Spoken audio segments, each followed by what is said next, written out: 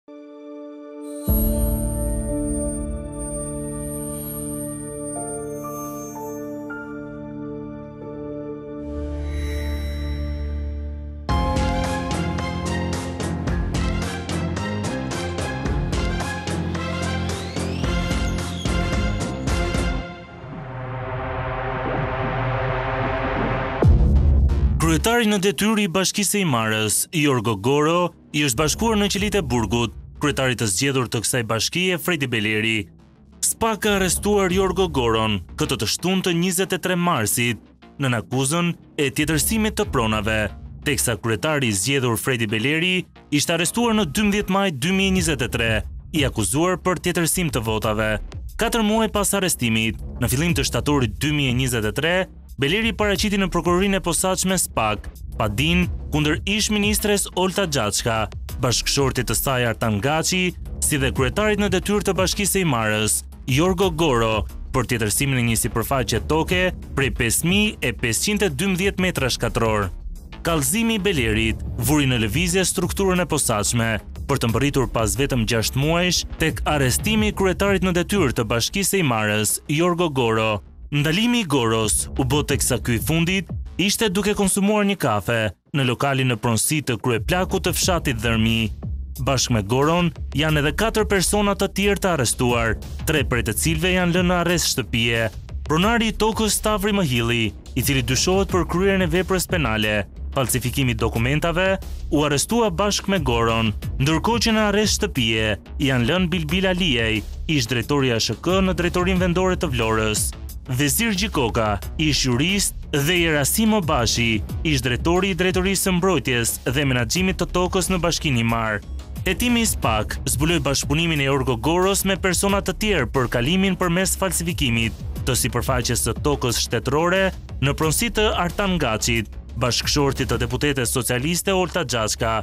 Spak sqaron se Jorgo Goro në bashkëpunim me shtetasit e tjerë ka realizuar veprime konkrete për zhvendosjen faktike në terren të një sipërfaqe toke bujqësore prej pesë mijë e tetëdhjetë metrash katrorë, duke ia mbivendosur atë një pasurie tjetër në pronësi të shtetit.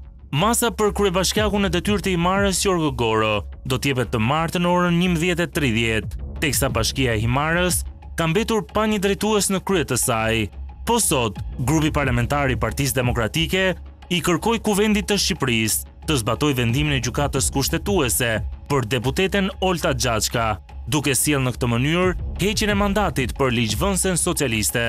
Çfarë do të ndodhë pas arrestimit të Goros? A do të reagojë Partia Socialiste pas kërkesës së grupit parlamentar demokrat?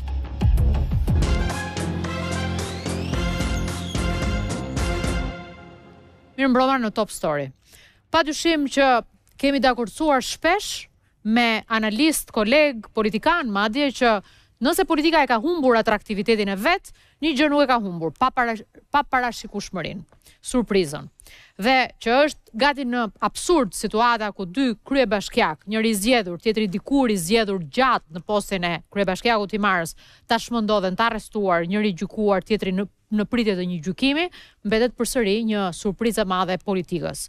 Që Himara të kishte qenë, le të themi, një iceberg sa i përket përfshirjes së debateve politike me spakun, me reformën në drejtësi, me kryeministrat e dy vendeve, atij shqiptar dhe atij grek, me agjendën europiane, me veton e Greqisë, me ndërtimin dhe çndërtimin e rregullave të Brukselit kur duan t'i heqin veton disa vendeve vetëm sepse Greqia prodhoi një precedent gati hakmarrës sa i përket çështjes Beleri. Një Beleri i cili mund të kandidojë edhe për eurodeputet sepse grekët mund ta shpërblejnë me njërën nga partitë e vogla për sakrificën që duket se ato ja njohin si të tillë, e gjitha kjo mbetet përsëri e bukura surprizante një politike e cila nuk është e bukur kur vjen puna tek limitet e saj të korrupsionit të cilat duhet të ishin shumë më të vogla në një vend që aspiron të aderojë në Bashkimin Europian. E këtu mbyllet ky editorial se çdo gjë tjetër që është analizë sonte në Top Story, do ta nisim nga elementi politik tek elementi i drejtësisë, tek parashikimet e tjera se çfarë pritet për procedurë nga gjykatat deri tek parlamenti. Mirëmbrëma Anila Basha, kënaqësi që të kam këtu. Faleminderit. Kënaqësi. Mirëmbrëma Doriana Bezat, mirëmbrëma Blerina Gjoka, mirëmbrëma Skerdian Dhuli dhe mirëmbrëma Xhevahir Xhabina. Kënaqësi që ju kam të gjithëve këtu. Nila do të nis me ty. E surprizuar sepse ë një herë u bë shumë politike çështja. Po e mban Rama thoshte opozita, kështu thonin grekët, ka një reagim të Omonias që stafi do na ndihmojë pas pak ta japin, ka pasur reagime gjatë gjithë kohës, shumë kryqëzime, pse u vendos Vangjel Tavo etj etj etj etj. Ma dekripto ti.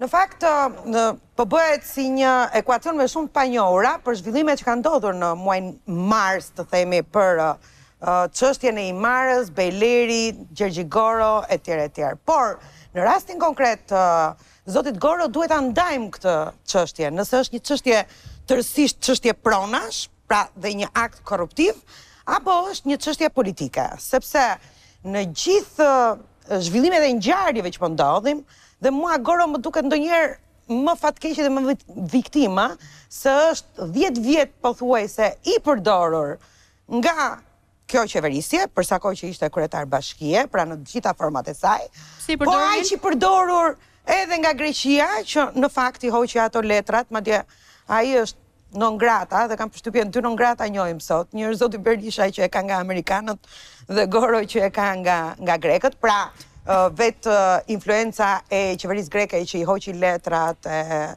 sepse ky po persekutonte komunitetin minoritar dhe Më duket sikur ai u shtrydh deri në atë masë sa që po ia shtrydhin edhe lëkurën e limonit, pra duke e futur brenda. Pra duhet ndarë koncepti, nëse është koncept për çështje pronash dhe është ky korrupsion i këtyre pesë mijë metrave, apo gjithë logjika është për çështje politike. Në momentin që këto të dyja tashmë janë miksuar, krijohet ky lloj ekuacioni. Po këtu dalin shumë variabla Nila, ëh. Domethënë, krijohet ky lloj ekuacioni se çfarë, sepse edhe mua politikisht thua ti. Po, po, nuk e do. Ëh,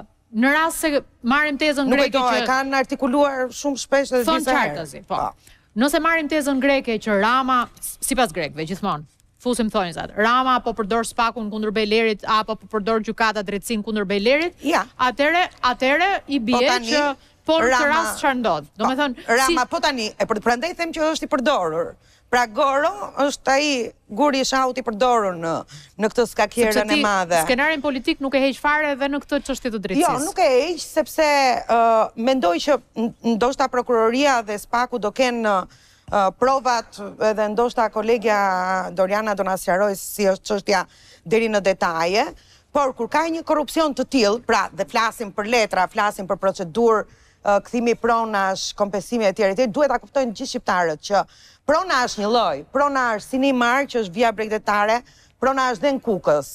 Dhe askush nuk mund t'ia marrë pronën një pronari. Problematika që është e akumuluar prej 35 vjetësh në Shqipëri, ka të bëjë me sherret e herëpashershme dhe ne kemi raportuar shumë shpesh Grida, lajme dhe informacione me sherret që kanë vetë njerëzit me njëri tjetrin. Pra, Kush është falsifikuesi në dorën e parë? Dhe kush është falsifikuesi në dorën e dytë? Si është marrë AMTP-ja? Si është dhënë dokumentacioni i pronës? Për mhm. të arritur tek Goro që çfarë ka firmosur apo jo.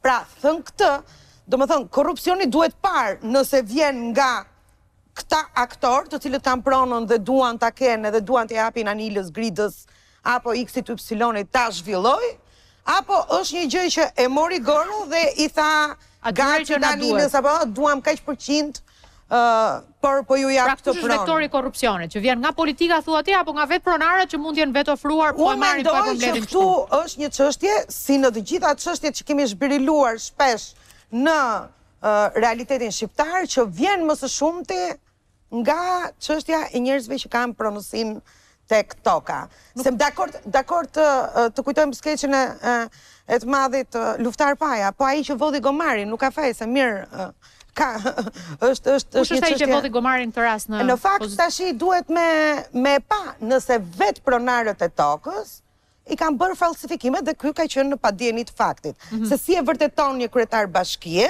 nëse ky dokument që kemi në dorë është origjinal apo i falsifikuar kur ky ka ardhur me vulë të njomë të thatë nga institucionet përgjegjëse. Pra, ai mund ta ketë, mund të ketë përgjime nuk e di, ë, prandaj them që nuk mund t'i hyjmë detajeve konkrete se çfarë ka parë spaku dhe si e ka trajtuar këtë këtë çështje. Por, thënë në këtë moment dhe goditur në këtë moment në këtë mënyrë, duket sikur qoftë kjo pronësia, pra çështja e pronësisë, qoftë politika kanë interferuar me njëra tjetrën duke krijuar një kok turku si si Goro. Kok turku për ty, po nuk ta jap Skerdiani tani. Ë, uh, Blerin, dorën më prit ë uh, Ndonëse mund ta vijoja me ty, por duke qenë se Nila e la tek logjika e çfarë ka ndodhur me pronën, Birni ka investiguar procedurialisht çfarë ka ndodhur me këtë pronë. Çfarë ka ndodhur Blerin? Me dhënien e statusit investim strategjik. Pra, uh, unë mendoj se këtu futet politika. Pra ky nuk është një korrupsion i thjeshtë, më jep të jap çështje pronash, falsifikim dokumentash që ndodhin rëndom në Shqipëri. Gjyqet e pronave janë nga më të shumtit në gjykatat shqiptare. Unë mendoj se kjo ka qenë një nisje që në mendimin për të dhënë këtë investim strategjik Artan Gaçit, bashkëshortit të ish ministres, ministres Olta Xhaçka. Pse e them këtë? Të deduksion, nuk e bëj kot, sepse në vendimin e dhënies së investimit strategjik dhe statusit investitor strategjik ka disa data. Datat janë këto, Bashkia Himarë në dy mijë e njëzetë, në qershor të dy mijë e njëzetës, ndryshon planin vendor të zhvillimit të bashkisë. Dhe në ndryshimin e planit vendor bën një ndryshim që këtë zonë e shpall me përparësi investimi strategjik të turizmit. Pra ishte një tokë bujqësore që më përpara në planin vendor nuk kishte pas ndonjë rëndësi. Në dy mijë e njëzetë mblidhet bashkia, Këshilli Bashkiak, pastaj ja kalon KKT-së dhe marrin vendim që Kjo ka përparësi për zhvillim për turizmin. Dhe gjashtë muaj më vonë, në dhjetor të dy mijë e njëzetës, KKT-ja jep një leje ndërtimi në këtë në këtë zonë. Dhe më pas, tre muaj më vonë, jepet statusi investitor strategjik Artan Gaçit. Pra, mua këto data më lidhin që çdo gjë është bërë me plan. Pavarësisht se hetimet do ta Pra, Goro ka qenë kryetar bashkie. Unë mendoj se i dinte sepse Lidhen faktet, lidhen datat. Tani, me jo. fjalën që ne mendojmë se dinin një tjetër është në burg, por ne nuk e mendojmë dot që Goro e shpalli sot këtë pjesë toke që është se e njëjta gjë më ndodhi dhe me Velipojën, se ne merrem me Himarën. Po dhe në Velipojë, mund të vendosi kryetari i bashkisë së Shkodrës që në bregdet, kjo copë toke këtu,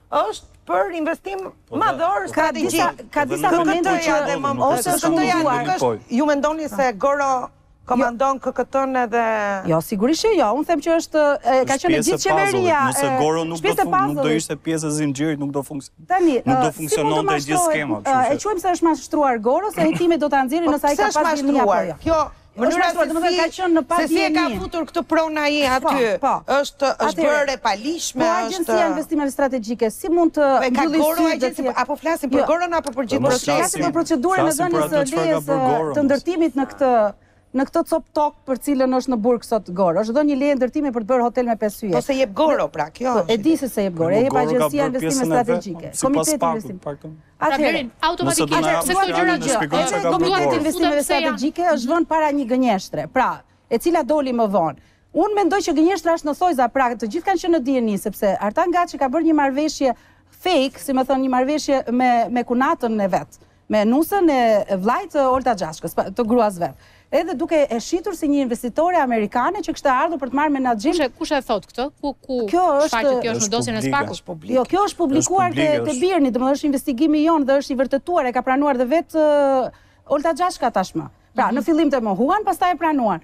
Artan Gaçi ka marrë statusin e investitorit strategjik, pasi e ka marrë, ka kuptuar që është në konflikt interesi bashkëshortja, sepse është ministre dhe po merr një të mirë publike, sepse statusi i investitorit strategjik ka disa të mira publike mbrapa. Pra ka masa mbështetëse që shteti i jep këtij investitori. Dhe një deputet me kushtetutë nuk duhet të përfitojë nga të mirat publike, përndryshe humbet mandatin. Atëherë çfarë ka bërë për të shmangur këtë konflikt interesi, për këtë arsye Gaçi ma ka thënë vetë në telefon, pra, unë për të shmangur konfliktin e interesit, bëra marrëveshje me një kompani amerikane, e cila në investigimin e BIRN-it rezultoi që nuk ishte kompani amerikane, ishte një kompani e sajuar, e krijuar nga vetë Gaçi dhe me emrin e një shtetase amerikane që rastësisht ishte gruaja e partnerja e vllait të Olta Xhaçkës. Pra, është dhe agjensia e investimeve strategjike përpara një mashtrimi në thonjëza, sepse unë besoj se ata e kanë ditur pse po bëhej kjo marrëveshje, për çfarë po tentohej të shmangej ky konflikt i interesit. Kanë qenë në dijeni, se s'mund të mashtrosh gjithë qeverinë me një marrëveshje fake, me një shtetase që ishte studente praktikisht, nuk ishte investitore. Kjo është afërmend, që thua ti. Po, po ndërkohë, këto janë shkeljet që shfaqen në në atë që ju dhe ju e keni investiguar dhe bërë publike dhe më thua që dhe është pranuar më pas nga ë uh, si vijon procedura? Uh, procedura vijon që opozita pastaj e dërgoi në parlament mocionin e mo, uh, mocionin për papajtueshmërinë e mandatit të Olta Xhaçkës. Uh, mazhoranca e zvarriti për disa muaj, pastaj e rrëzoi në parlament. Opozita e dërgoi në Gjykatë Kushtetuese, Gjykata Kushtetuese e nxori antikushtetues vendimin e parlamentit të, të mazhorancës dhe e detyroi ose i kërkoi kuvendit që ta ridërgonte në gjykatë, ta dërgonte në Gjykatë Kushtetuese për interpretim, sepse është është organi më i lartë, është i vetmi organ që mund të interpretojë mandatin e një deputeti nëse ajo e ka shkel kushtetutën apo jo, se mund të dali dhe në përfundimin që nuk e ka shkel sepse për shembull avokati mbrojtës i Xhaçkës dhe gjithë mazhoranca kanë argumentin që ajo nuk ka përfituar vetë individualisht ka përfituar bashkëshorti. Kupton, po gjithsesi këtë e vendos gjykata kushtetuese. Tani interpretimin e konfliktit të interesit ose jo? Gjykata kushtetuese që e detyron kuvendin që ta ta sjelli në gjykatë këtë interpretim është marrë në janar të 2023-shit. Jemi në mars të 2024-s, Dhe Kuvendi nuk ka marrë asnjë vendim për këtë gjë. Pra nuk po zbaton vendimin e Gjykatës Kushtetuese, po e tërheq zvarrë. Dukshëm, dukshëm është një vullnet politik i mazhorancës për të mbrojtur deputetën e tyre. Ose për të marrë kohën. Për të mos e vënë në rrezik. Po i po i marrin po. të dy anë, ose të marrë kohën për të kuptuar çfarë ka ndodhur. Marrë kohën deri 2025. Real, realisht. Kur bëhen zgjedhjet parlamentare. Në një, në një mënyrë apo një tjetër. Ka raste të tjera të të tilla që të investime strategjike që janë dhënë, po. Që ka konflikt me pronën? Atëherë, Grida, që kur u miratua ligji për investime strategjike në 2015, ngriti shqetësimin e ekspertëve që kjo cënonte të drejtën e pronës. Si ligj, vetë ligji. Pse? Sepse në ligj parashikohet një masë mbështetëse për investitorin strategjik që është konsolidimi i tokës. Pra, në mënyrë arbitrare, shteti futet në një marrëdhënie që është mes privatëve. Për shembull, mes Pra futet shteti për të zgjidhur një marrëdhënie pronësie, marrëdhënie mes investitorit dhe një pronari toke. Bëjmë një hapje kllape ashtu. Edhe ka disa raste të tjera që do të shkoj tek rastet e tjera që ti di. Por se kjo është e rëndësishme. Nga ana tjetër ne jemi në të njëjtën Shqipëri, në të cilën 7501-shi apo mungesa e dokumentave pronësore për shumë e shumë pronarë, nuk arrin dot që Shqipëria të thithë investitorë të mëdhenj, po heqim të flasim në parim pastaj se ça ka ndodhur po. nëse është spekuluar me këtë.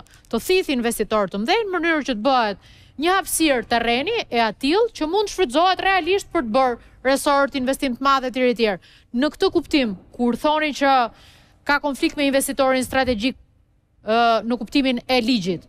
Nga ana tjetër Shqipëria nuk duhet të riparojë një plagë të vetën që nuk arrin dot të bëjë një terren të caktuar të madh, një hapësirë toke të madhe për të ndërtuar investime në rast se shteti nuk hyn edhe si negociator, nuk hyn edhe si intermediar. A mund të jetë dhe kjo logjikë e të njëjtit ligj? Shteti mund ta bëjë këtë me tokat që janë shtetërore, siç po bën në gjirin e Lalzit. Për shembull ka investitorë në gjirin e Lalzit që kanë marrë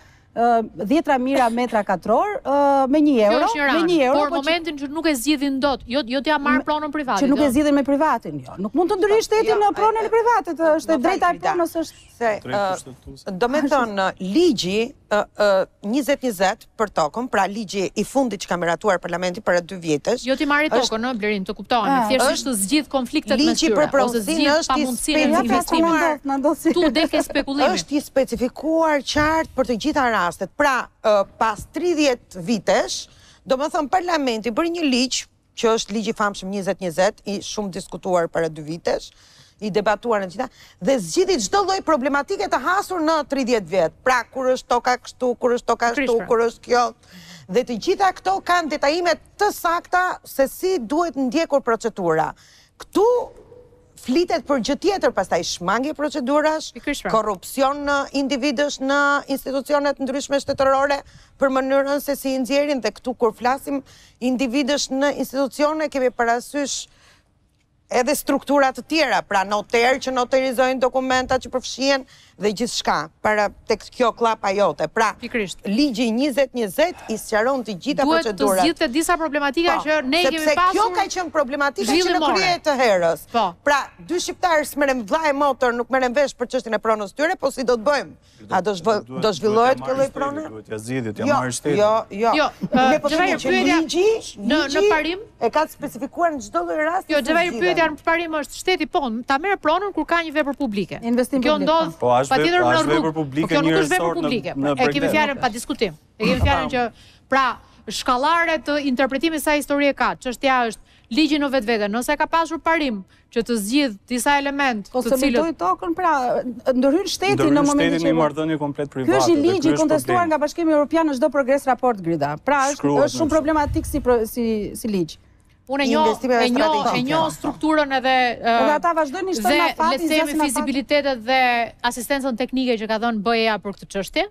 Po përsëri nuk i ka dhënë përgjigje kësaj pyetje që unë të them, Blerin. Se një nga problemet më të mëdha që ka Shqipëria, për të qenë me një lloj flegu, me një flamur për kompanitë e mëdha, është që s'ka tokë.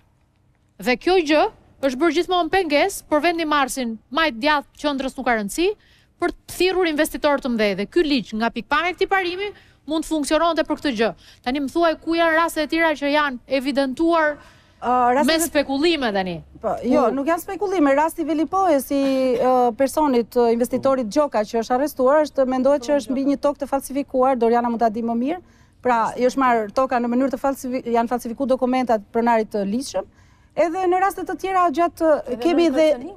Po, kemi dhe një... është çështje penale aty, jo më çështje civile. Një status të fundit strategjik që ka dhënë Komiteti i Investimeve Strategjike, pra, i ka hequr statusin një grupi arab dhe ia ka dhënë një grupi tjetër që pretendohet që janë amerikanë në bulevardin e ri ku ka përsëri pretendime për tokën, është një pronar i ligjshëm në bulevardin e ri të stacionit të trenit ku pronari i ligjshëm ka pronari që i është njohur e drejta e pronës, edhe e drejta e parablerjes së objekteve shtetërore që janë mbi atë pronë, pretendon dhe ka hedhur në gjyq për ka hedhur dy herë në gjyq Ministrinë e Mjedisit dhe Qeverinë Sepse nuk mund t'ia, sepse pretendon që është dhënë leja për të ndërtuar me status investitor strategjik mbi pronën e tij.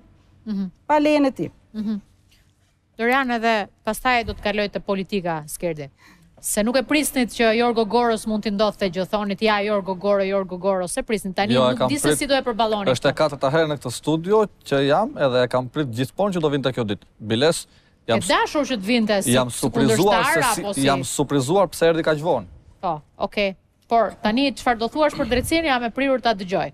Ë, Dori, Këtu po diskutojmë dhe u, u fol për korrupsion, por në fakt akuzat zyrtare të SPAK-ut janë shpërdorim detyre dhe falsifikimi i dokumentave. Dhe në fakt, në këtë rast, arrestimi i zyrtarëve të bashkisë dhe të kadastrës nuk është një finalizim i një hetimi, po është nisje, të paktën në optikën time, sepse duhet të kemi një përgjigje se si u tjetërsuan këto prona dhe si u regjistruan brenda 5 ditëve, Kur ne e dimë se si është realiteti në këto prona. Zoti Jorgo Goro apo edhe drejtorët, juristët që janë janë nën akuzë të SPAK-ut, tashmë duhet të shpjegojnë në janë në, në u është kërkuar të veprojnë me kaq insistim dhe në kanë qenë kaq të verbër për të mos parë këto ndryshime, këto falsifikime që në bazë të Kallëzimi që është bërë që në maj të dy mijë e njëzet e njëit nga një person i cili i ishte mbivendosur prona në në këtë në këtë zonë dhe po ashtu kallëzimit të zotit Beleri në gusht të vitit dy mijë e njëzet e tre, ku flasim për një akt të marrjes së pronës në të tokës në në pronësi që kishte shkrim të ndryshëm, kishte vulë të ndryshme, nuk kishte një numër kadastral, pra të gjitha këto detaje që ishin dukshëm Këta që nga kryetari i bashkisë, drejtori i mbrojtjes së të territorit dhe të tokës në zonën e Himarës, apo edhe edhe zyrtarë të, të kadastrës, pse ishin kaq të verbër që nuk i panë këto detaje. Nga ana tjetër, jo vetëm kthimi i tokës i tokës shtet privatit apo zhvendosja e një toke tjetër që në në total bënin mbi 10000 metra pse ishin kaq të verbër? SPAK sot i, i akuzon për shpërdorim detyre, por unë besoj që hetimi do të thellohet akoma më shumë për të, për të zbuluar se kush, e, kush i shtyu që brënda 5 ditëve, megjithëse kishin kaq cedime në, në autenticitet dhe në vërtetësi të këtyre dokumentave, kush i shtyu që ta, ta registronin brënda 5 ditëve, që edhe këshilli bashkiak, si, si një vendim më përpara. Afat kohor minimal procedural, sa do të ishte? ne kemi parë që çështjet e pronave zgjasin me vite dhe nuk kanë një një regjistrim. Një regjistrim. Duke qenë se kishin mbivendosje, kishin jo sqarime për kufijtë, kishin shumë problematika të tjera, plus që toka nuk kishte një status të vetëm, një herë dilte truall, një herë dilte tokë bujqësore, kishte shumë paqartësi e megjithatë u regjistrua. Në ishte truall apo tokë bujqësore, gjysma e pronës, ia ka dhënë përgjigje Jorgo Goro, i cili në kundërshtim me ligjin shtatë mijë e pesëqind e një ka thënë që kjo tokë është truall, ndërkohë që ligji shtatë mijë e pesëqind e një nuk njeh fjalën truall, nuk mund të jap, nuk mund t'japësh me shtatë mijë e pesëqind e njëshin truall për të ndërtuar. Mhm. Është e pamundur kjo të ndodhë nga ana ligjore. Pikërisht kjo është një nga shkeljet që zoti Goro ka bërë të paktën sipas sipas SPAK-ut. Më pas shkelja tjetër sipas prokurorisë së posaçme është që Zoti Goro ka regjistruar këtë tokë duke marrë në konsideratë një ATMP e të Stavri, më fal, të Stavri Mëhillit, që e cila është falso dhe mbi këtë dokument ai ka bërë të gjithë procedurën më pas duke e dërguar Stavri Mëhilli është është është pronari i cili ka ka fituar të drejtën e 5000 metrave katrorë, 5512 metra katrorë. E ka fituar këtë të drejtë me një dokument të falsifikuar. Zoti Goro më pas dhe bashkia që ai përfaqëson, se nuk po themi që gjithë veprimet i ka bërë zoti Goro, ka dhe të tjerë zyrtarë ajo bashki që njëri ndër ta është i arrestuar, ka kryer gjithë procedurën dhe e ka dërguar më pas drejt, drejt kadastrës së Vlorës. Një tjetër shkelje që ka bërë zoti Goro duke futur dokument, një dokument në këtë dosje është që ka marrë në një farë mënyre pëlqimin e Këshillit të Qarkut, ku në fakt nuk e kishte marrë. Ende pa i, pa u mbledhur Këshilli i Qarkut. Sipas dosjes ai e ka dërguar këtë këtë dokument në datën tetëmbëdhjetë tetëmbëdhjetë mars dy mijë e nëntëmbëdhjetë, ndërkohë që sipas dosjes së sekuestruar nga këshill, në Këshillin e Qarkut nga prokuroria e posaçme, kjo kjo kërkesë e zotit Goro është dërguar drejt këshillit në datën pesëmbëdhjetë prill dy mijë e nëntëmbëdhjetë, një muaj më pas kur e gjithë procedura e privatizimit të kësaj toke kishte marrë fund. Dhe pikërisht kjo është një nga shkelje tjetër, një shkelja tjetër, më pas kjo tokë i kalon Stavri Mhillit, i cili kundrejt një pagese prej rreth 12.6 milion lek të reja, ia shet ish deputetit Artan Gaci, i cili më pas e bën pronë të veten, por duhet thënë edhe diçka tjetër që për metër katror diku kësaj prone i ka rënë diku tek 23 euro, kur në fakt ti nuk mund të blesh në atë zonë aty 23 euro për metër, një, është është është e pamundur. Dhe ia ka blerë kujt pronarit? Stavri Mhillit, i cili me një dokument të falsifikuar sipas SPAK-ut e ka regjistruar atë pronë. Tjetër është i falsifikuar me sipas nga Stavri Mhilli, pra prona. Kur blihet, a rikërkohet? Po sepse prona ishte regjistruar në hipotekë, pastaj kishte mbar, kishte Pastaj momenti e ka regjistruar në hipotekë. Kishte marrë pra, fund gjithë po, historia. Në momentin kur ai e bleu ishte me po, dokumenta përpara përpara se sa Kjo është dëshmira që ka dhënë në SPAK Jorgo Goro, i pyetur se çfarë baze ligjore kishte shërbyer për të për të si kryetar bashkie për të konturuar pasurinë me numër tridhjetë e gjashtë tridhjetë e pesë, deklaruesi është përgjigjur se ka ndërhyrë për të zgjidhur mosmarrëveshjet mes shtetasve. Kjo kompetencë, sipas deklaruesit, parashikohet në Ligjin e Vetëqeverisjes Vendore dhe konkretisht neni njëzet e nëntë pikë tre të Ligjit me numër qind e tridhjetë e nëntë të vitit dy mijë e pesëmbëdhjetë i ndryshuar me Ligjin kaq e kaq datë njëzet e gjashtë e dy mijë e nëntëmbëdhjetë, i cili parashikon se në fushën e sigurisë publike bashkitë janë përgjegjëse për garantimin e marrëdhënieve në komunitet, parandalimin, ndërmjetësimin për zgjidhjen e konflikteve në komunitet. Pra, ka zgjidhur këtë konflikt midis Tani, Xhever do të bëja edhe këtë po, po, pyetje. Po. Ë ka dy ka dy rëndësi. Një rëndësi që është politike dhe një rëndësi që i lihet drejtësisë, shpërdorimit e procedurës apo korrupsionit. Ë Në fakt, ka nisur hetimi i SPAK-ut vërtet pas denoncimit të Belerit apo më përpara, si ju rezulton juve?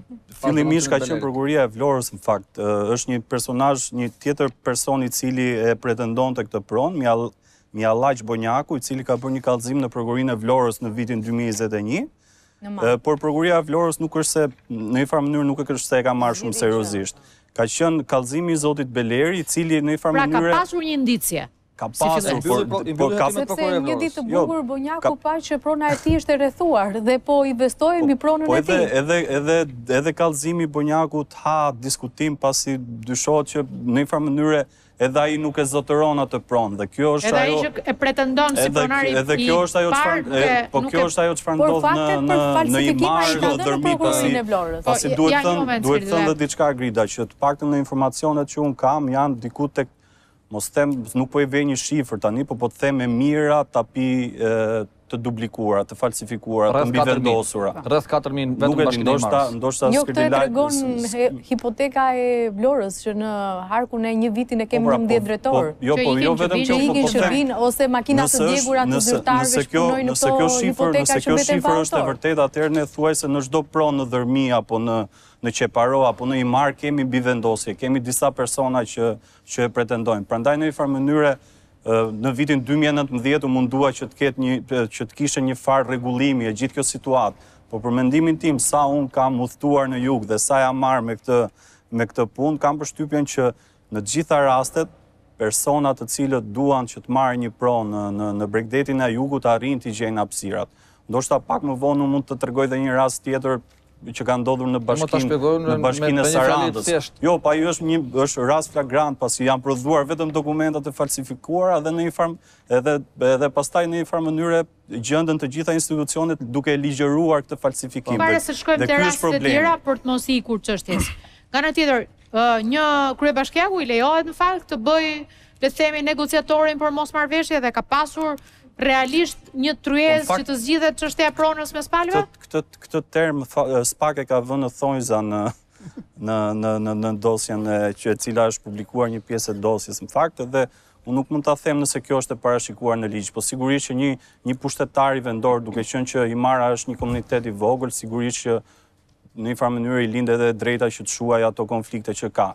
Por duhet thënë që në këtë rast për mendimin tim sa kam lexuar, sa kam lexuar dosjen është e pamundur është e pamundur që ti ta shuash konfliktin duke qenë që ka kaq shumë njerëz të cilët e pretendojnë atë pronë. Atë njëjtën pronë. Tani, Skerdi, çfarë do thoni tani që Jorgo Goro u gjykua, jo u gjykua, u gjykua që duhet arrestuar, pra u hetua me idenë e plot që ai duhet të ishte nën arrest, sepse po prekte provat. Çka për të thënë më tani për drejtësinë politike? Ka për të thënë aq shumë, mm, saqë në 30 minutat e durimit tim duke dëgjuar, unë i dua shumë gazetarët, po kjo nuk është çështje kaq teknike. është çështje kryekëput politike. është ngrit një ditë të bukur, mafia qeveritare e pronave në Tiranë, dhe ka shpikur një ligj me porosi, një kostum të qepur për të grabitur pronat në bregdet. Në këtë rast ka qenë kostum i qepur për Artan Gaçin, ish-deputet i Partisë Socialiste, burrin e Olta Xhaçkës. Në një pronë që kishin konflikt dy pronarë, rezulton që prokuroria e Vlorës, siç e tha Xhevi, i ka mbyllur hetimet, pra kallëzimin e një personi që pretendonte këtë pronën, ky Mihallaq Bonjaku, e ka mbyllur prokuroria e Vlorës.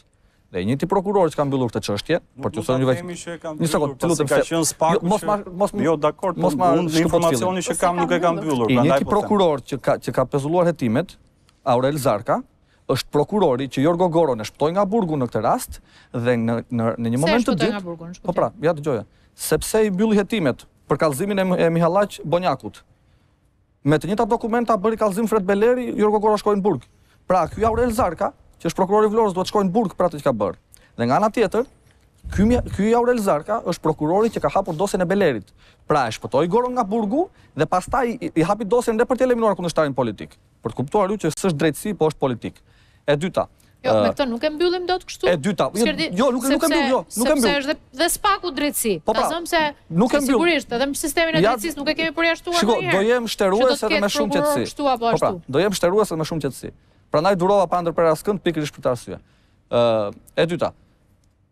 Unë kam thënë në, në këtë studio katër herë, po në këto 10 muaj apo në këtë më shumë se një vit gjatë fushatës elektorale, e prej vitesh edhe në qarqet e Partisë Demokratike, se aq ishte hapësira, që kjo nuk që bashkia Himarë shumë e vogël në numra, po disproporcionalisht kur është fjala për interesat në të cilën përfshihen të.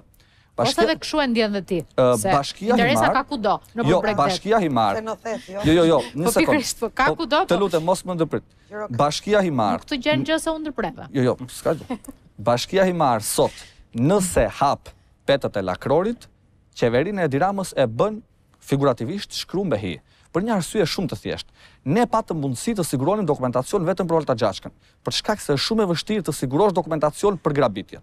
Unë kam një dokument tjetër që më del në Borsh komuniteti musliman, grabitës pronash, është absurde ta thuash, edhe një musliman si puna ime ta thotë këtë, po është fakt. Më del në fushë të Borshit, në lagjen Qazim Pali, komuniteti musliman grabitës i pronave të 50 familjeve. E kam dokumentin në telefon, nëse doni ja jap regjisë në një moment. Por, problemi nuk është se del komuniteti musliman. Problemi është se ata që fshihen pas komunitetit musliman, që e përdorin si marionetë në këtë rast, janë oligarkë të lidhur me Edi Ramën. Ashtu siç ishte Artan Gaçi, që i detyroi këta dy pronarët të falsifikonin letrat dhe pastaj ua bleu tokën me 25.000 lekë të vjetra, metri katror, ndërkohë toka aty është minimum 100 euro. Minimum 100 euro. Pra, këta ditëzinjtë banorët, kanë dalë të humbur disafish,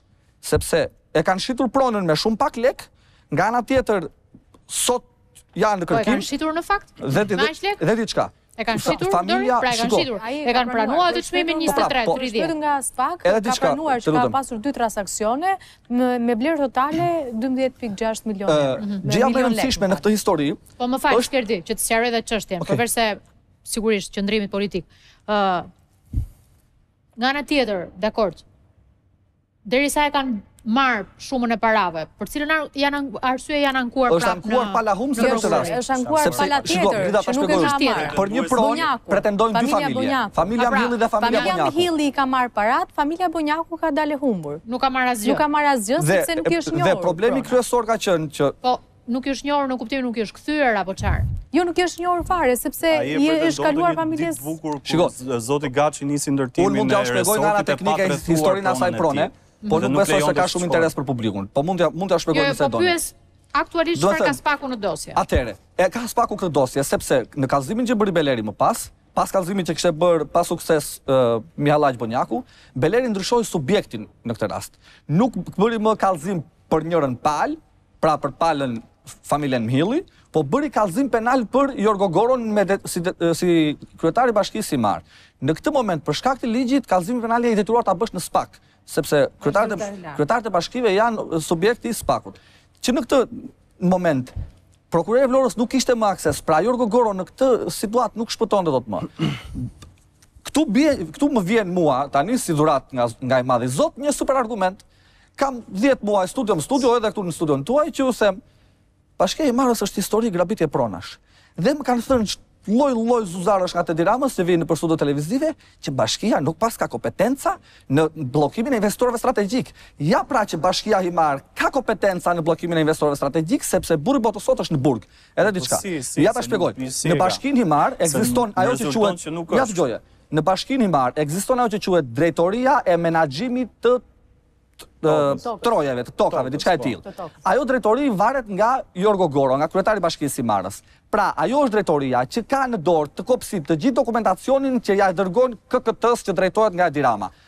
Që ta kuptosh arsyen se pse janë të ndërlidhura kryeministri, që është për mua hajduti kryesor në këtë pronë, nuk është Jorgo Goro, është Edi Rama, sepse Edi Rama e ka firmosur investimin strategjik. Dakord, Skerd, më dëgjo pak. Në këtë rast, I bie që me këtë logjikë që thua ti me rregull treshi dhe një drejtor hipoteke dhe një drejtor ë uh, kthimit pronave dhe çdo drejtor agjencie është po aq i rëndësishëm për ligjin e investitorit strategjik. Me mënyrën se si po funksionon patjetër po. Po sigurisht pra kështu, gjithë zinxhiri është i rëndësishëm. Pikërisht. Kjo s'ka diskutim. Por nuk duhet harruar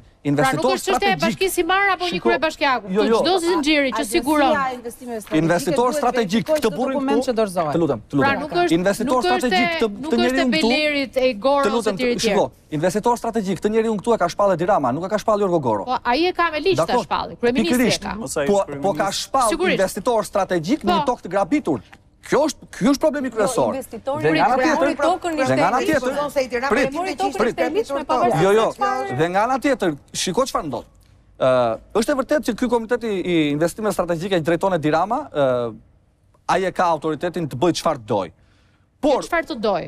Po pra, e ka autoritetin që s'e kundërshton dot askush. Ne jemi në një studio që po flasim tani për çfarë të dojë. Po ne pra, jemi në një studio që po unë po të, po përpiqem të kopsis çdo hallkë të, procedurës, si duhet të ishte si është. E thjeshtë fare. Rama ka bërë një ligj, po ta thashë me një fjali. Po, Rama ka bërë një ligj për të grabitur pronat e vijës bregdetare të detit Jon për shkak të atyre që ai quan investitorë strategjikë që janë njerëzit e tij të afërt. Por Skerdi, kur e thoni këtë se për atë arsye një gazetare tjetër po, profesioniste të BIRN-it i bëra këtë sepse unë e njoh çfarë do të thotë të jesh në strukturat e menaxhimit të zhvillimit të vendit. E kam përvojë personale. Një gjë është ta thuash politikisht dhe një gjë është ta thuash proceduralisht realisht. Pra, ai ligji. Grida, në qoftë se nuk do ishte ai ligji, as TAP-in s'do ta kishe sot, se për shkak të problemit, domethënë një investim kaq madhor siç është TAP-i, apo çdo investim tjetër, apo Shell-i, apo kushdo, në qoftë se nuk do ishte ky ligji, nuk do bëhej, po në bazë të këtij ligji është. Është Shiko, investimet majore. Ai është ligj po hajdutësh. Shiko, është ligj borxh. Investimet janë investime, se ju merreni me oligarkët. Në këtë mos. Domethënë i keni i keni krijuar që del pronar ato që do grabitur dhe mos merrem me të. Nuk është një gjë e jo. keqe të investosh. Anila, ata nga që del pronar ato që do të grabitur. Ai oligarku që i thua ti apo po. investitori, siç po. them unë, shkon atje tek prona dhe i thotë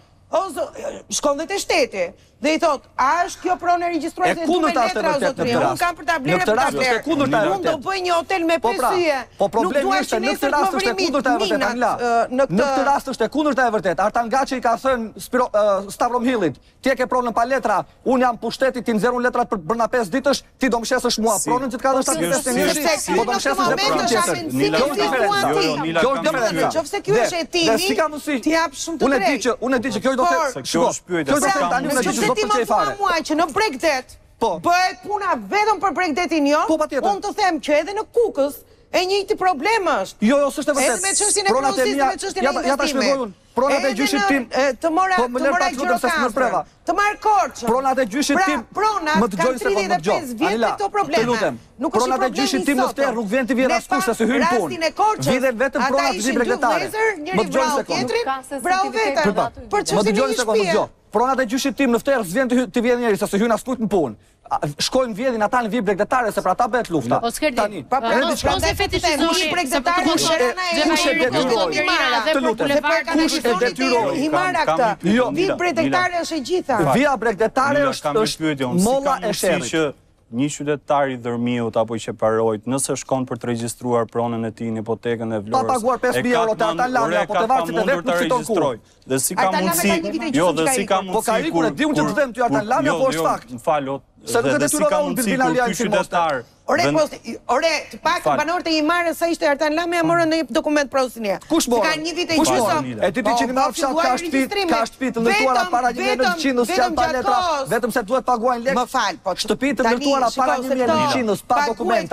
Nuk paguhet aty aman, domethënë ky është një koncept që përherë e thonë dhe askush nuk e dëgjon. Ti e di që unë kam të drejtë, pavarësisht se e ke mik Artan Lamen dhe s'e thua dot, e di që unë kam të drejtë. Askush nuk e denoncon. Po Skerdi, se kjo që po bëni është e gjitha retorikë dhe s'po marrim vesh asgjë. Unë kam një pyetje për për Anilën, meqë një qytetar nga Dhërmiu Qeparoi, ose cilido fshat i Bregut, shkon në hipotekën e e Vlorës dhe e ka të pamundur që ta regjistrojë pronën e tij.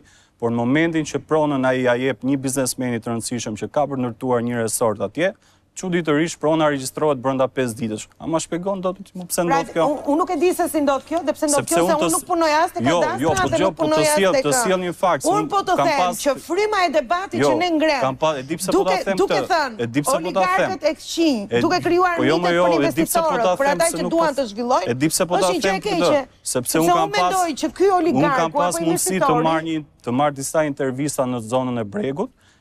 Edhe një një ndër shqetësimet më të mëdha që kishin ata banorë ishte që të paktën ma kanë thënë edhe në mikrofon edhe on record dhe gjë që ata do të lidhnin marrëveshje me persona të ndryshëm, biznesmenë, të fortë, duke i dhënë gati 60% të pronës së tyre, vetëm që prona e tyre të regjistrohej, pasi nëse do do shkonin vetë, nuk e regjistronin dot.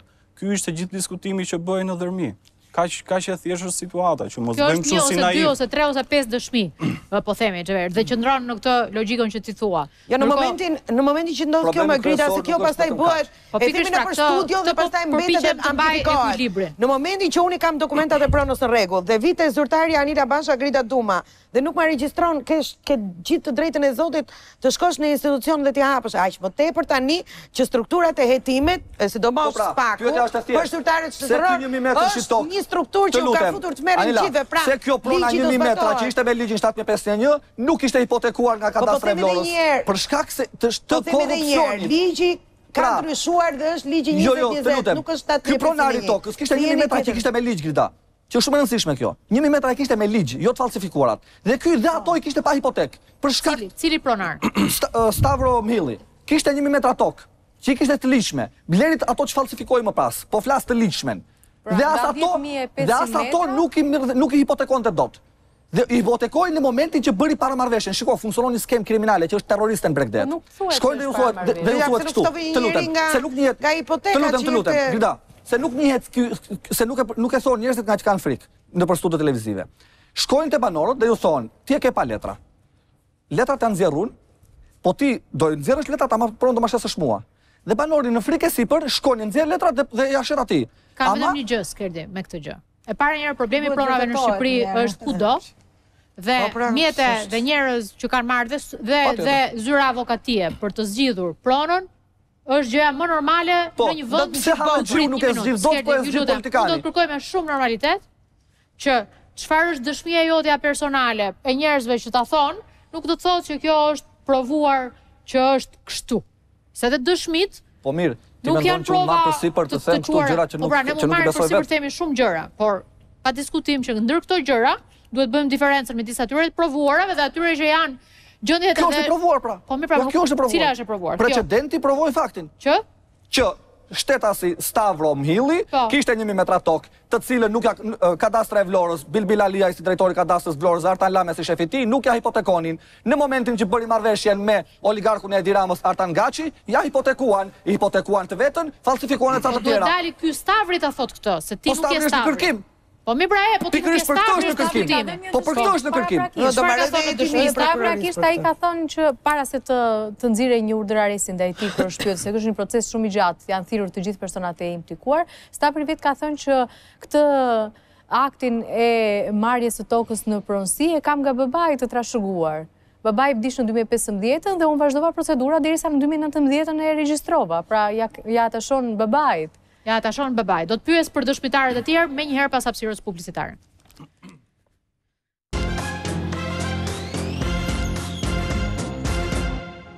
Janë lëvizje të kryeministrit Zotit Rama.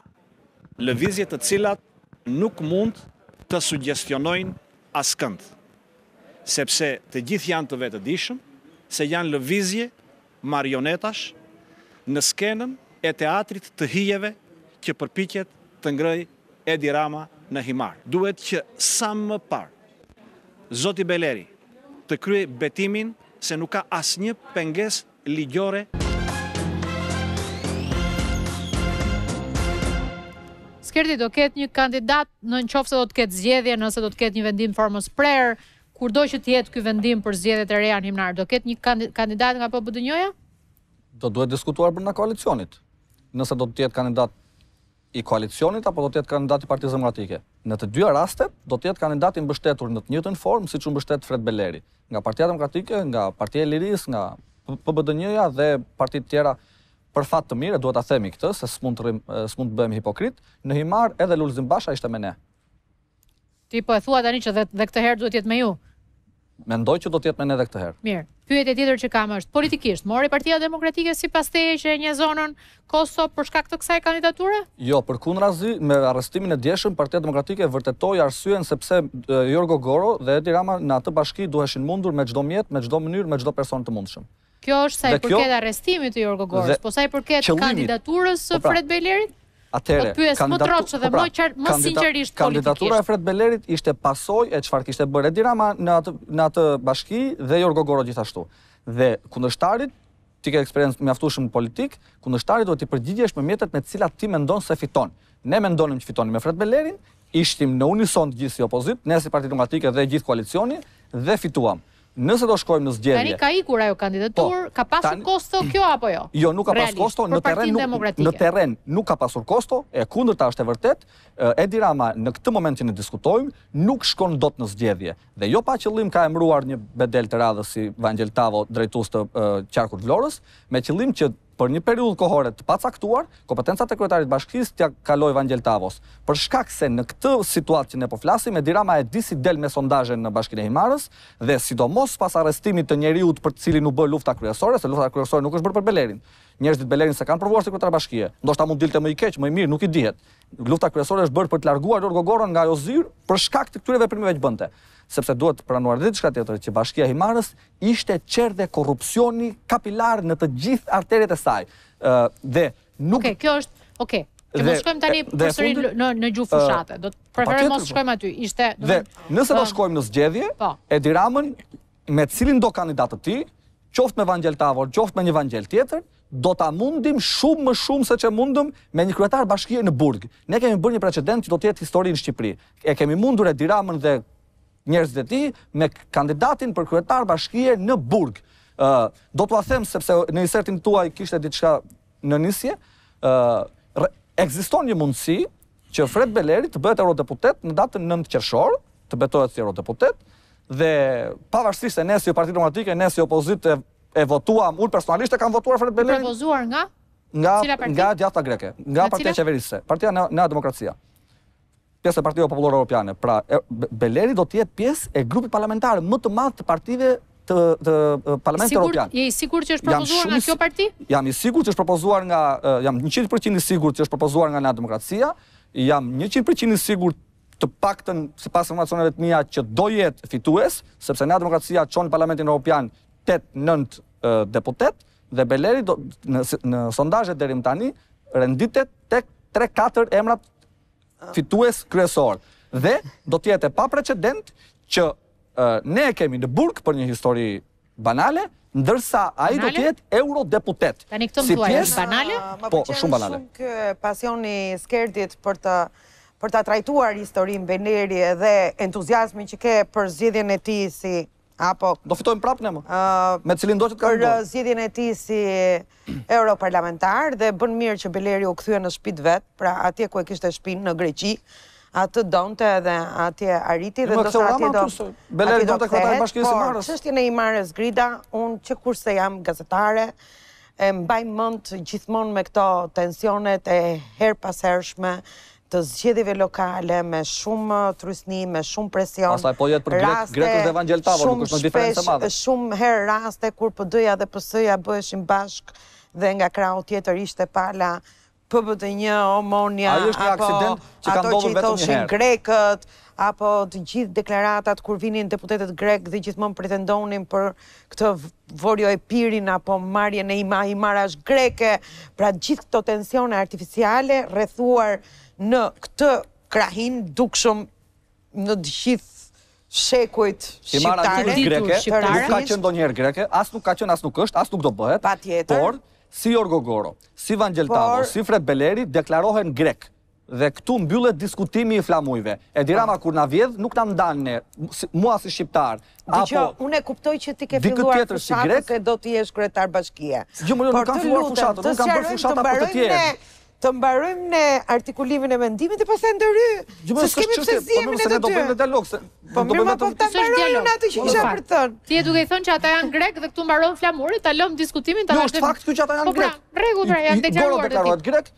Vangjel Tavo deklarohet grek, Fred Beleri deklarohet grek. Po, po të pranojmë diçka.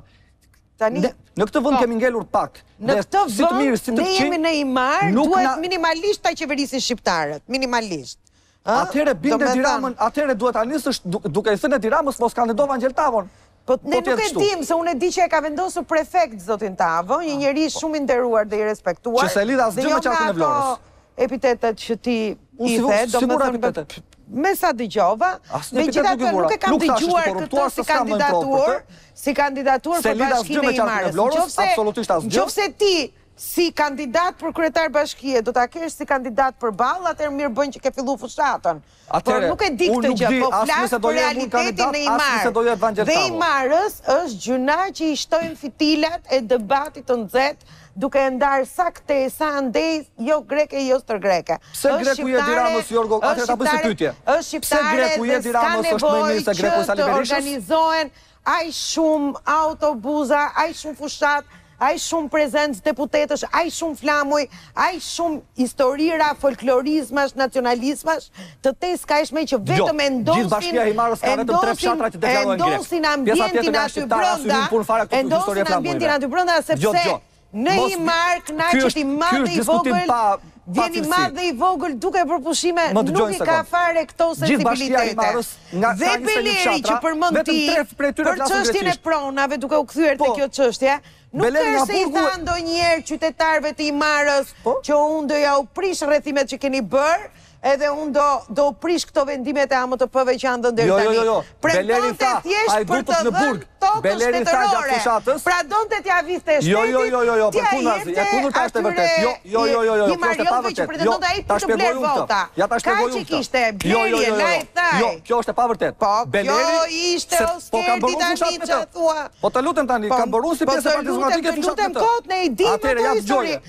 Dhe për më tepër Beleri, që ta dish ti dhe ta dinë gjithë shqiptarët, në tre shkallë u gjykua.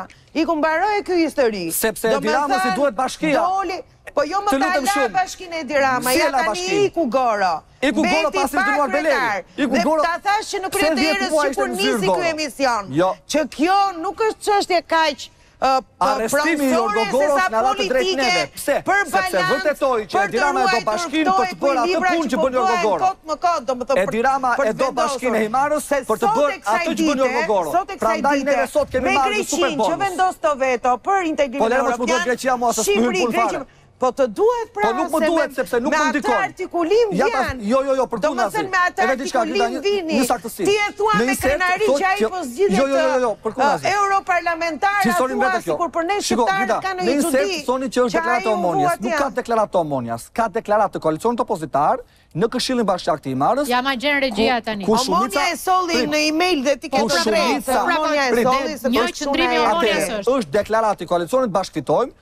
ku shumicën në shtatë anëtarë që ne kemi, shumica e tyre janë të Partisë Demokratike, tre të Partisë Demokratike, një është i LSI-së. Deklaratë e Omonias. Kjo është media e Omonias. Nëse është e njëjta dhe për ju është një çështje tjetër, nga ana tjetër. Jo, jo, kjo është deklaratë e Këshillit e këshilltarëve bashkiak, atëherë të lutem, jo unë mbaj përgjegjësi për këtë. Nëse jua kanë marrë jo, autorsinë ata dhe nuk jo, s'është kundër apo është Kështu është për në media, s'ke. Kjo është deklaratë e shkruajtur nga kryetarja e Partisë Demokratike të Himarës si kryetare e kësh, e këshilltarëve të djathtë në Bashkinë e Himarës. Kryetarja e PD-së Himarës është Afrovita Dhimojani, kryetare e këshillit e këshilltarëve të djathtë në bashki. Omonia në atë grup këshilltarësh ka vetëm dy anëtarë.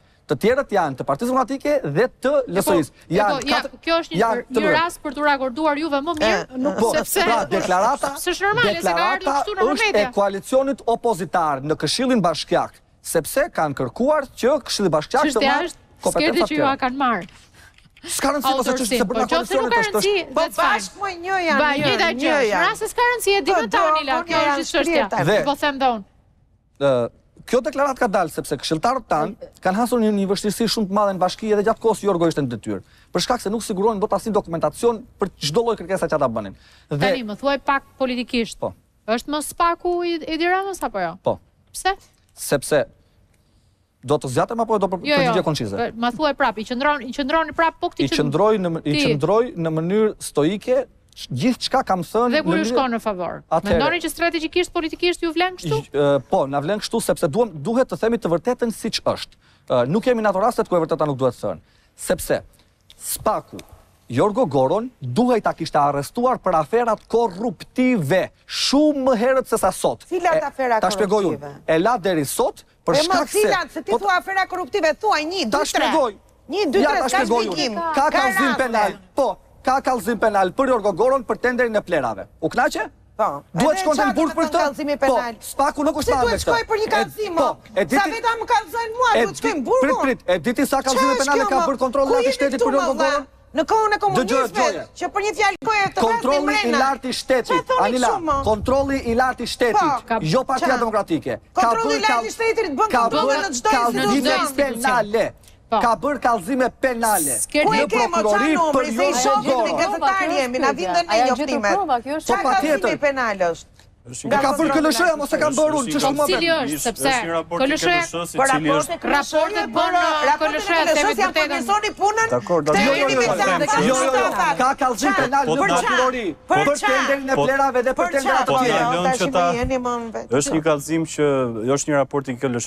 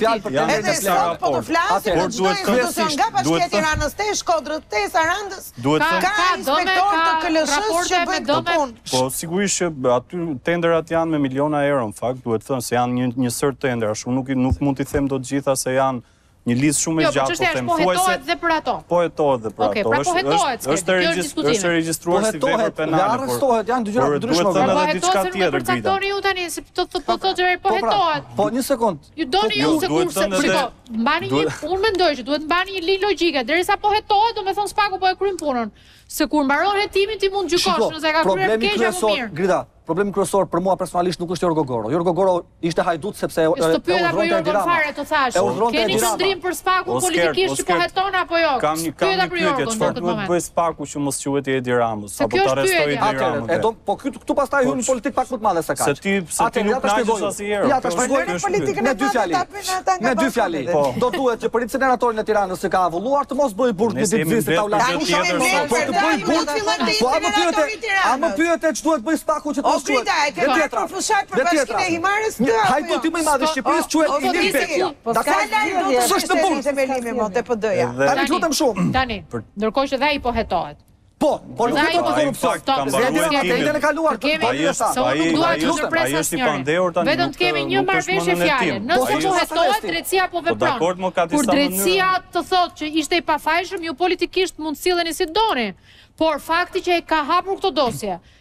dhe që ka arrestuar dhe tjera e tjera dhe po hetohet unë besoj që edhe politikisht O Grida, nëse SPAK-u më thotë nesër që dielli del nga Dajti dhe më thotë të vërtetën unë nuk do të thotë që nuk mund të them bravo se është, se është duke më thënë që dielli del nga Dajti jo, pra, si, du, si duke për këtë dhe kujdes me, me sinonimet se nuk janë të njëjtat nuk janë kështu po pra po nëse SPAK-u nesër unë po ju them edhe një herë tjetër për sa kohë që SPAK-u po heton SPAK-u me veprimin e vet arreston një kundërshtar tuajin Ju politikisht, strategjikisht nuk mendoni që duhet ndryshoni qëndrim? Pyetja është e imja. Po jo thua ti dhe e jo, zgjidhim. Jo, jo, unë jo. personalisht jo. Jo. Por ky nuk është qëndrim politik, është qëndrim personal. Po mirë, rregull pra, shumica mund të kenë edhe personal. Atë Gerdi është është skeptik për SPAK-un, po ama SPAK-u i ka marrë ca kallëzime në konsideratë të zotit Beleri. Domethënë kallëzimin për Jorgo Goron që e çoi në burg, po, raportin e KLSH-së. Por Jorgo, më fal, Fredi Beleri ka bërë edhe një kallëzim tjetër që për ndërtimet pa leje që po, po janë duke u zhvilluar në, në qytetin e po. Himarës. Po në fakt, këtë kallëzim e ka kaluar për kompetencë në, në prokurorinë e Vlorës dhe nuk e ka më si çështje nën hetim. Kjo do të thotë që SPAK-u, në fakt i merr seriozisht ato kallëzime që kanë një farë baze dhe kanë një disa të dhëna. Kështu që edhe, edhe në këtë rast, kanë, Shiko, janë dy kallëzime të cilat... Shiko, nëse SPAK-u ka produkt dhe skepticizmi ynë dështon,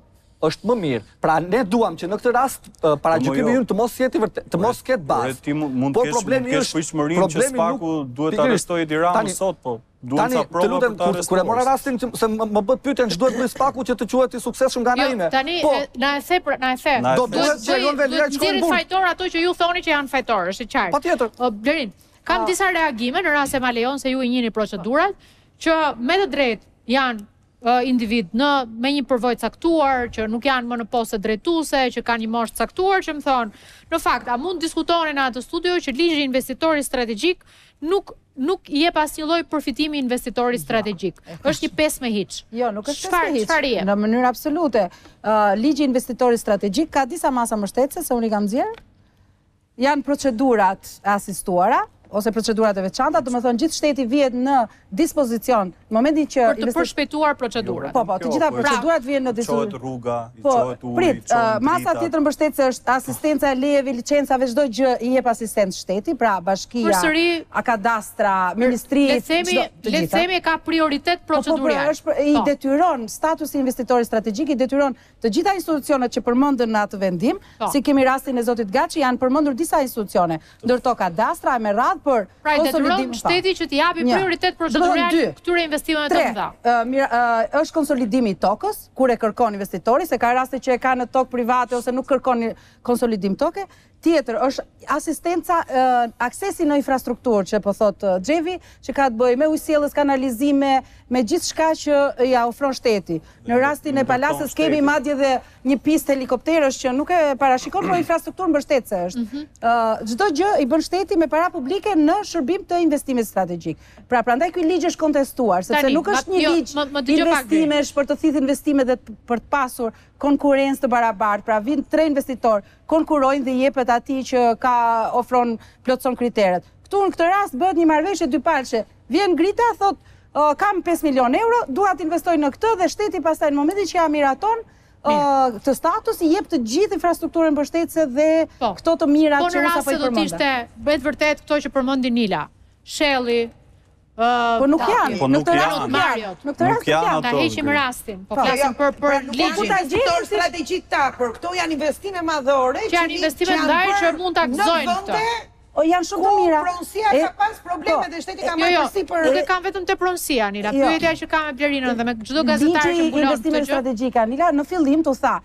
Është i përkohshëm sa të bëjmë një ligj tjetër për investimet, i cili akoma s'është bërë. Pra, ishte viti dy mijë e pesëmbëdhjetë dhe u tha të bëhet një ligj tjetër për investimet, që do jetë integral për të gjitha llojet e investimeve. Sepse Shqipëria është një nga përgjigjet dhe është treg i vogël. Sepse Shqipëria është treg i vogël, sepse akoma Skerdi, në qoftë se nuk e dini këtë dhe bëni sikur. Unë prit ja t'i them tani edhe këtë Skerdi sepse akoma Blerina ë thotë në këtë moment që është gjë e madhe t'i japi shteti rrugë. Pra kjo është një Shqipëri e cila ende nuk ka rrugë. Pra, unë po të jem nga pala tjetër, investitor, them drejtën Blerim, do të thoj aty, po mirë, ju s'doni të më jepni as aksesin e rrugës, ndërkohë që unë vi investoj qindra milion, Për çfarë pra, pra, si, si, si, si e mendoni ju këtë? Ligji prandaj është bërë për të thithur të huaj. Po pikërisht madje ka dhe një kriter brenda në ligjin e investimeve strategjike që investitori strategjik duhet të ketë kontratë me një kompani të huaj, markë të pra, huaj. Pra, si kriter është okay. Si në rastin konkret që po. Gaçi e bëri me këtë markën e huaj që në fakt që nuk i jo, jo, nuk është marka e huaj e hoteleri, hotelerie kanë ardhur në Shqipëri apo jo? Po, kanë ardhur, patjetër kanë ardhur. A mund të them vetëm pra. një një detaj se si se çfarë ka ndodhur këto 10 vite me me ligjin. Jo, me me investitorë strategjik në fushën e turizmit. Pasi janë disa disa fusha ku aplikohet ky ligj. Mund të them që në përgjatë këtyre 10 viteve janë tridhjetë e një projekte të tilla, që ta kuptojmë që sa i suksesshëm është ky ky ligj edhe sa çfarë prodhimi ka sjellë në ekonomi. 84 janë dhënë status. 31 janë dhënë në turizëm. Po. Për 10 vite kanë përfunduar vetëm 6 prej tyre që e, e kanë mbyllur investimin. Pra, Xhevi. Tani le le le le t'i themi hajt t'i bëjmë llogaritë tani. Jo, llogaritë mund t'i bëjmë ne, po çështja është kjo që Edhe nuk ka, më fal, ta them edhe këtë, dhe në këto 10 vite që ky ligj po zbatohet, shteti akoma nuk ka një analizë se çfarë impakti ka pas në ekonominë e vendit, në punësim. Çfarë impakti ka pas në punësim, sa të ardhura ka sjell, pra në investim sa lekë janë hedhur, Pra nuk ka një analizë. I gjithë problemi, i gjithë grabitje, i gjithë problemi është monitorimi i monitorimi i këtyre projekteve dhe këtë duhet të bëjë agjencia AIDA që jep AIDA, që jep edhe. Jo, nuk e ka bër, nuk nuk e ka bër sepse për këtë. Sepse ne aty shohim që se, që kompanitë që aplikojnë për t'u bërë investitor strategjik thonë që do do investojnë 250 milionë euro.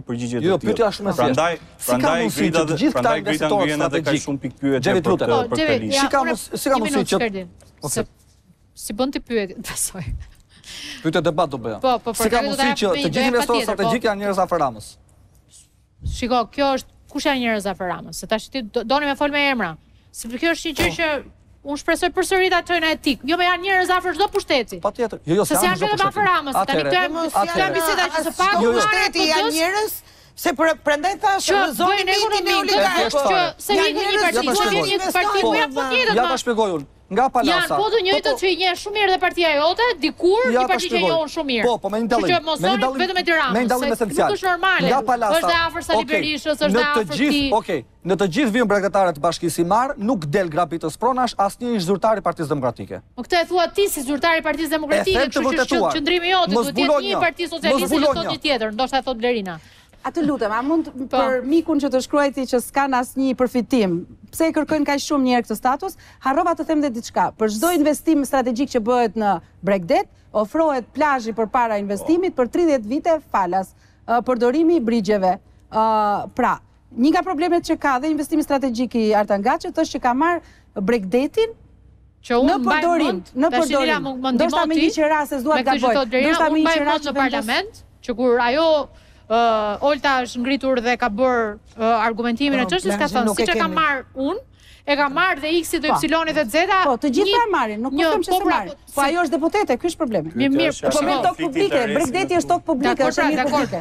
Nuk po merrem me rastin po, Xhaçka. Po. Në këtë moment po, po merrem me, me jo, po merrem me ligjin e investimeve strategjike. Kjo ishte pyetja. A nuk është një e mirë kjo po. që përfiton nga ky status? Po, këtë investime strategjike nuk e merr vetëm ky Blerin, që është investitori strategjik të plazhin përpara. Plazhi i Durrësit. Atë e marrin dhe me turizmin, kjo është ide. Gjithë turizmi e merr, më kupton prap. të arrijmë të ndajmë gjërat nga njëra tjetra që të jemi korrekt. Çdo fillim sezoni uh, çdo hotel, po, merr pjesën që ka përpara. Çdo hotel merr pjesën që ka përpara e administron me kaq vite qera jep taksën në bashki se kjo është ne mund të hyjmë pastaj diskutimi sa plazhe publike kanë mbet në bashkitë tona. Po. Diskutim tjetër po, bëjmë një top story tjetër. Po këtë këtë e merr dhe kur e dëgjon në atë moment ti thua po realisht që çdo njeri që ka një hotel 5 metra 10 200 nuk e di se sa i ka në në hapësirën e vet e merr në fakt, me thënë drejtën.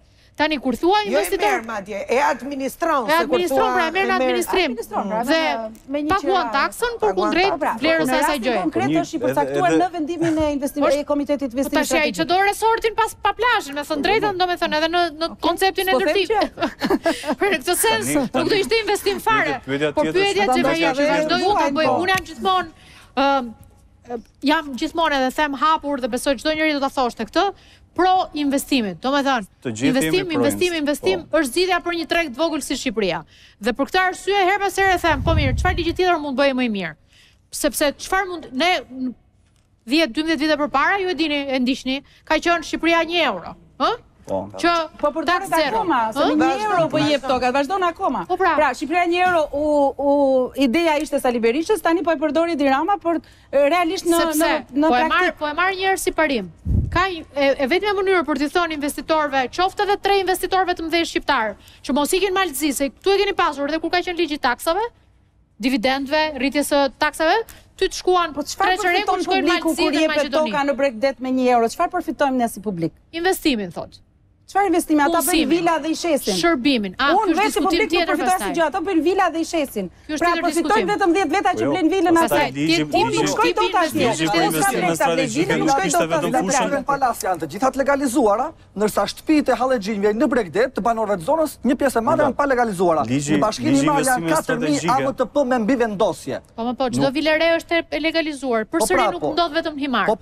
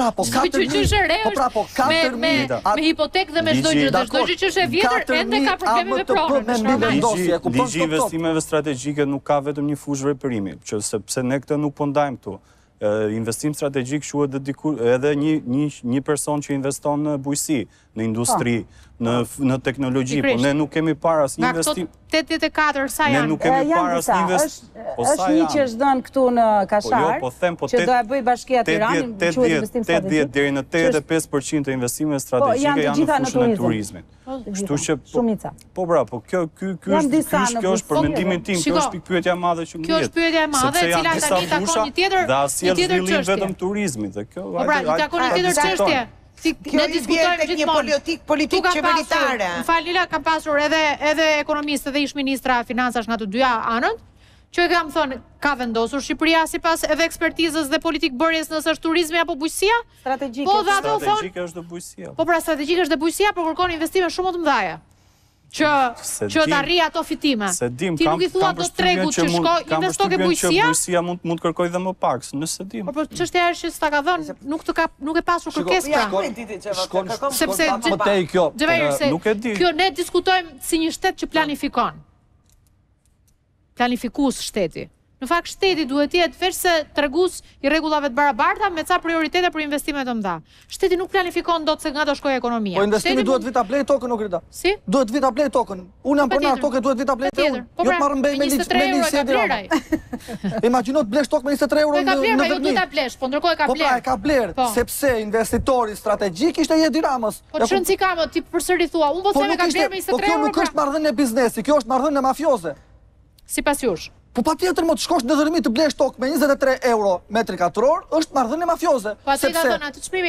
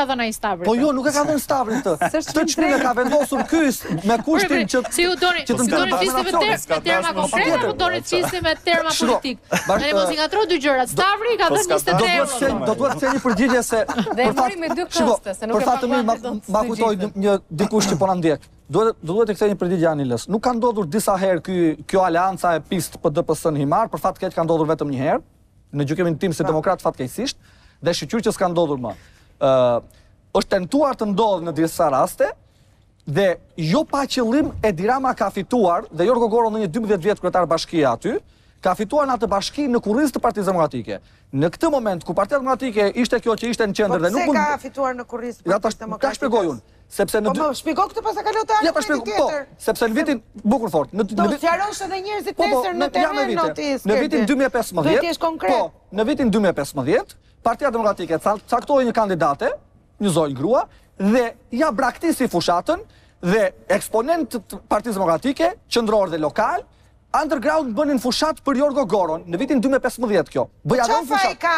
Prit. Jorgo po Goro dhe Edi Rama. Nuk të thashë ka fajin Jorgo Goro. Në atat për dësë fushatë. Jo, ka fajin PD-ja, jo Jorgo Goro, duro. Në vitin 2019,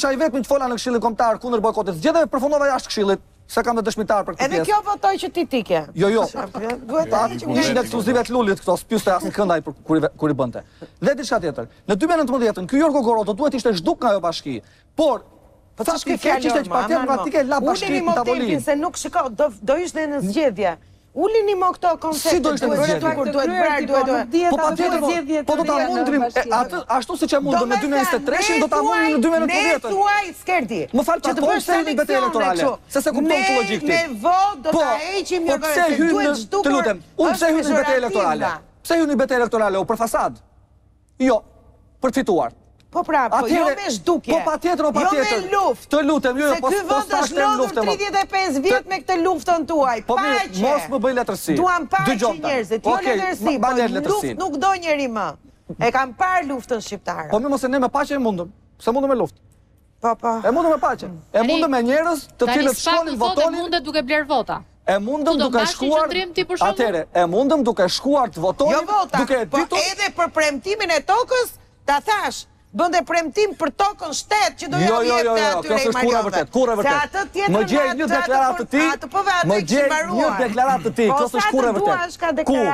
Kurrë e vërtetë, po Beleri deklaratë të ka bërë kratim. Gjeni një kandidaturë serioze,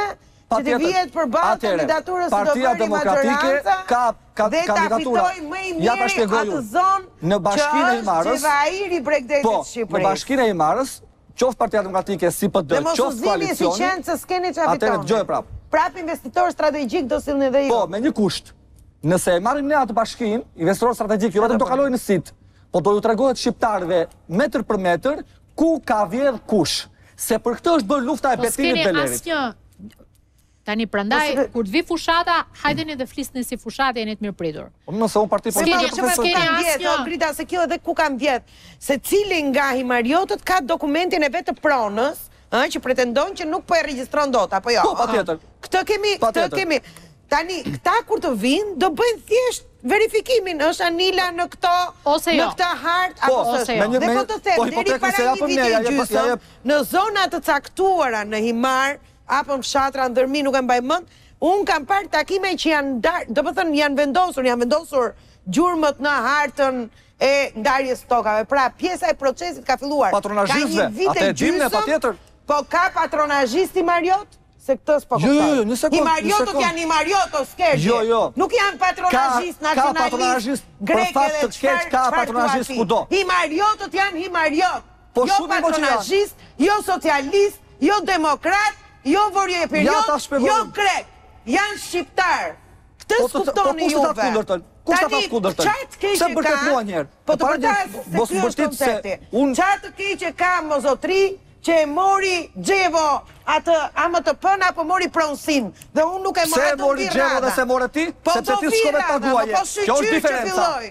Kjo është po, diferenca, ti s'e pranon dot këtë. Se ka 35 vjet jo, nuk i jepnin jo, tokat, dhe diçka nuk i jepnin letrat katundarëve atje. Dhe këtu ka një diferencë midis gazetarëve dhe ju që bëni pjesën e politikës. Kush është diferenca? Që Nila po të thotë, nëse e ka marrë me të drejtë Xhevo, duhet ndryshuar gjuha e politikës duke thënë që po mirë shyqyr që e mori, jo pse e mori. Ju duhet pyesni pse s'po e merr ky tjetri. Po më shqiptarë, s'e mori ai për shkak se s'paguan dot lekë. Po, po nuk e din ti atë, zotëri, nuk e po, përcakton dot kështu politikisht. Atëherë, do të... Të lutem, Skerdi. Dhe elementi tjetër që po të ndërhyja ishte kjo. Kur të vini në fushatë, jeni të mirëpritur të thoni mes palëve dhe palët të flasin si fushatë. Por, në këtë moment, nuk do të thuash dot që ne do kalojmë në sitë investitorin strategjik, se s'ke asnjë Prit ta mbaroj unë, pastaj patjetër ti. S'ke asnjë kompetencë për të kaluar ti sitën e investitorit strategjik, e ka kryeministri i vendit i cilësdo qeverie. Dhe kjo është flasim si nga pozita e palëve, por këtu nuk jam palë, jam mbi palët. Në këtë kuptim, juve mund të keni të drejtën të merrni pronën dhe ta kaloni në sitë sa i takon asaj që SPAK-u sot SPAK-u sot ka hetuar Jorgo Goron dhe e ka arrestuar dhe i thotë pse ti me këtë letër të pakonfirmuar të pronësisë, vazhdove procedurën. Sepse drejtoria e menaxhimit të tokës në bashkinë e Himarës, tokës pra tokës. Po pra, drejtoria e menaxhimit të tokës në bashkinë e Himarës, që do jetë në varësi të kryetarit të bashkisë, do jetë nga opozita, se nuk do fitojë prapë dira, po, të garantoj. Po, po pra, do e vendosin qytetarët se kush do ta fitojë bashkinë e Himarës. Aty ka lojë të si. Edhe i PD-s dhe i PS-s dhe i LSI-s dhe i gjitha lloje partive, këdo që të vendosin, kompetencë, pushteti lokal ka të konfirmojë pronësinë dhe mbaron këtu. Ky është diskutimi që po ju them. Ndërkohë, ju s'konfirmoni dot kush është investitori strategjik, nuk e keni kompetencë. Prandaj, kur flisni si fushatë, flisni si fushatë, kur flisni si individ që po qartësoni një çështje, është mirë të flasim me këto argumenta. Ky është gjithë diskutimi, kompetencën. Dhe këtu unë nuk unë këtu unë ndaloj. Pastaj thuaj ti, ai këtij, ai këtij, ai këtij, ë këtu mund të bëni fushatë sa doni, por kjo është kompetenca që që Kompetencën e ka Komiteti i Investimeve Strategjike. Pikërisht pra kompetencën e ka. Që në rastin konkret nuk e di se çfarë po pret për të marrë një vendim për investimin për, për, për statusin e sepse i kanë dalë disa të dhëna në dritë, Ligji i Investimeve Strategjike parashikon që statusi investitor strategjik revokohet në rast se dalin të dhëna të rreme, të dhëna të pavërteta që nuk janë ditur, nuk janë njohur më përpara se të jepet ky status. Ka afat kohor kjo? Në rastin konkret, jo, në momentin që merret vesh që gjatë procedurave janë përdorur të dhëna të pavërteta, që në rastin konkret kemi dy, një që kemi marrëveshjen që ka bërë Gaçi me kunatën e bashkëshortes, pra që është një marrëveshje jo vetëm për plazhin Urdhra? Vetëm për plazhin. Jo, për menaxhimin e gjithë po, po. kompania e kunatës ka marrë statusin investitor strategjik e ka ndarë bashkë statusin pra. Sepse janë marrë dy vendime për këtë. Është marrë një vendim që ia ka dhënë Gaçit, vendimi i dytë e ka ndarë statusin mes dy kompanive, pra dhe kunata. Po, dhe ky është një një e vërtetë që komiteti pretendon dhe e dyta është rasti i tokës pra është rasti i tokës do të thotë se është rasti i tokës